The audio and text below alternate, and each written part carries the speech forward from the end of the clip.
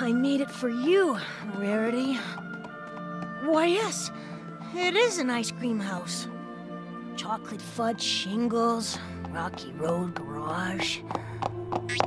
What I remember about the rise of the Empire is... is how quiet it was. Twilight? During the waning hours of the Clone Wars, the 501st Legion was discreetly transferred back to Coruscant. It's the middle of the night. It was a silent trip. We all knew what was about to happen, what we're about to do.